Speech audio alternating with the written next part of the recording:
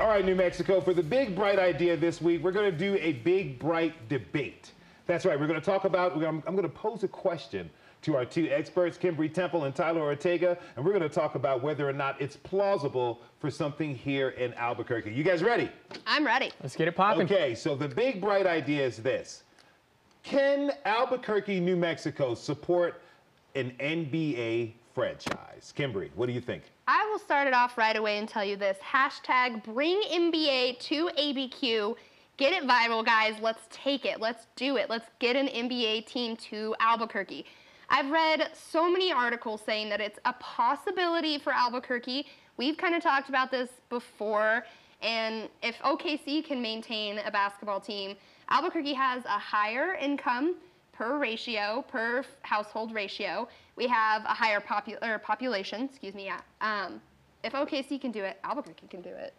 All right. Um, you know, I first off, let me say I would love, absolutely, just love to have an NBA team here in Albuquerque. Uh, I would put season tickets on layaway for that instance. I would, I would be there every game supporting our home team. However, I, I don't think it would work.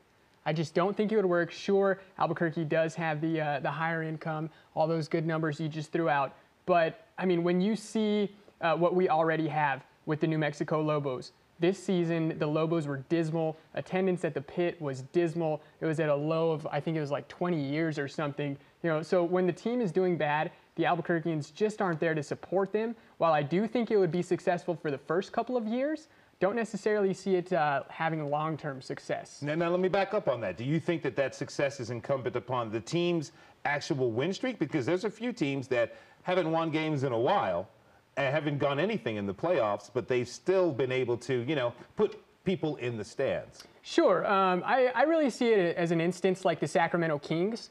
You know, back in the early 2000s when they had Bibby, Doug Christie, Divac Stojakovic, those players, uh, the seats were always filled in Sacramento.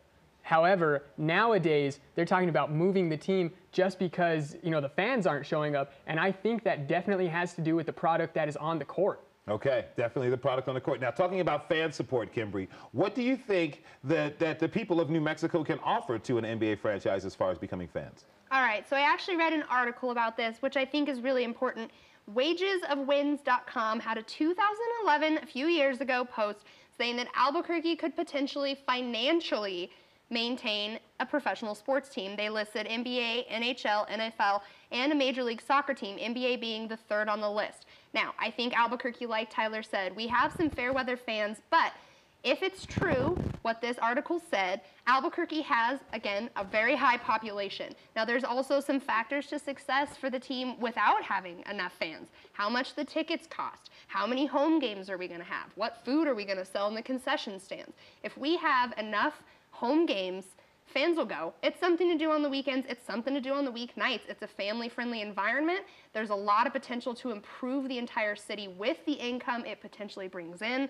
I think that we would have the fan base that we need if we have the fan base that we need to support. Just a note of a uh, little quick fact check. Albuquerque, the last time my producer checked, had about 1 million people in the metropolitan area, including Santa Fe. And Oklahoma City has about 1.4. So just a little bit more folks, but the Albuquerque, we also very close to places like Denver, El Paso, and other places that people would come see. Okay, so we have two different opinions going on. Possibly, maybe we have the fans to support, maybe we have the money to support. And Kimber, you have numbers to prove that we actually do have the fans and the numbers to support. I want to talk about facilities. We have the space downtown. Downtown needs to be revitalized. It's something that can actually happen. What about building a facility, 35,000 seats, that can fit more than just NBA games? There'll be 41 home games yes. coming into the NBA, 41 away games. People flying in who are fans who want to see LeBron James play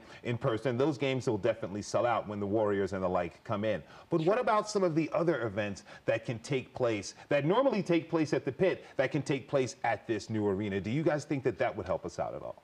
I think so. If you've ever wanted to see Taylor Swift in concert, you probably won't see her in Albuquerque unless we have a bigger facility for her. There's not enough space at the pit. There's not enough space at the major concert facilities that we do have. If you've ever wanted to see a college NBA, or excuse me, a college March Madness game, there's potential for that kind of thing um, track and field. We've talked about that. The popularity is growing with those sports.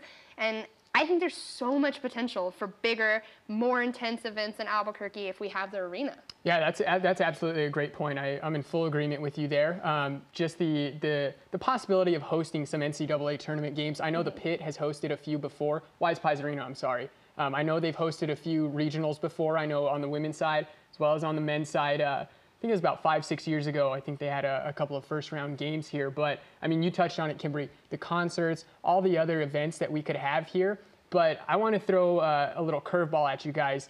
I think actually an MLS team would work a little bit better here in Albuquerque as opposed to an NBA team. Why do you think that? Uh, well, first off, you know, we, we've seen it here with the Sol, the Albuquerque Sol. They came in just a couple of years ago. They're getting more and more support. They were talking, uh, in fact, about building their own soccer stadium. Soccer is a huge, huge sport here in Albuquerque. You know, we see it all the time. The state soccer championships in the fall are a huge event. When you go out to that uh, the complex out there on the west side of Albuquerque, loads of people coming in from all over the state. And soccer itself is an epidemic. It's catching on here in the United States. I really, really think that Albuquerque would be a little bit more successful with that as opposed to an NBA team because one, you're not going to have higher uh, the high player salaries like you would have with the NBA. The tickets would cost less. The stadium would have a, a few less seats, not necessarily you know 35,000 or, or the number that you guys were throwing out.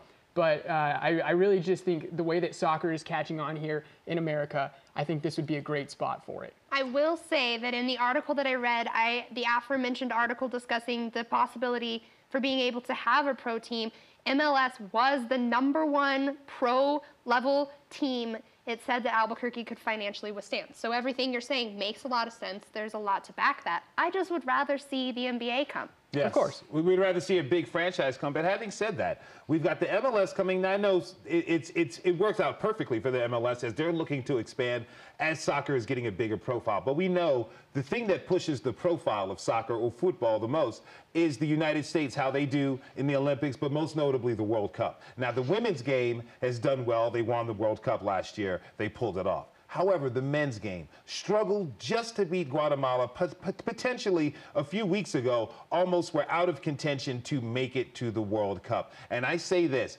as American sports attention goes, is often how the men's team goes. Now, the women have done a lot to really dispel that myth a little bit. But since MLS still isn't quite there, it's about number four or number five on the national market as far as advertising, television dollars, and TV contracts, wouldn't it be more plausible for Albuquerque, possibly the Maloofs or some very wealthy families to get together to try to bring a Sacramento Kings team to New Mexico and I think that would work well. What are your thoughts? I did find a few teams that are potentially going to be up for sale in the next 10 years. Now, some of these teams have not said that they would relocate, nor do they have interest in relocating, but they might be up for sale. The Minnesota Timberwolves, valued at $1 billion. It's a little bit above Albuquerque's price range, I think. The Chicago Bulls, their value not listed on a for sale sign yet.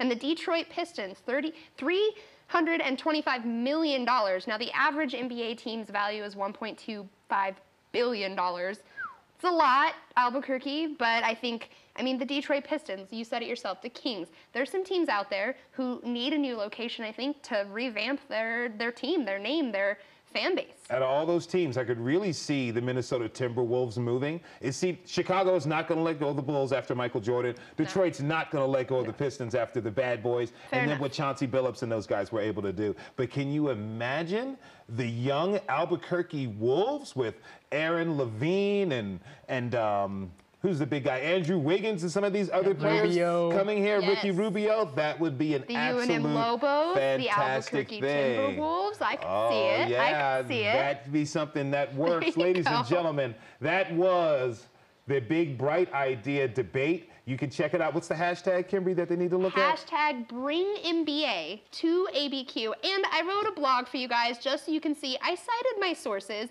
www.sports-skinny.com. Check it out for yourselves, and you'll hear more about it on the uSports Report. All right, for Kimberly and Tyler, I want to thank you guys so much for staying with us this episode. We'll be back tomorrow with more from the uSports Report. See you.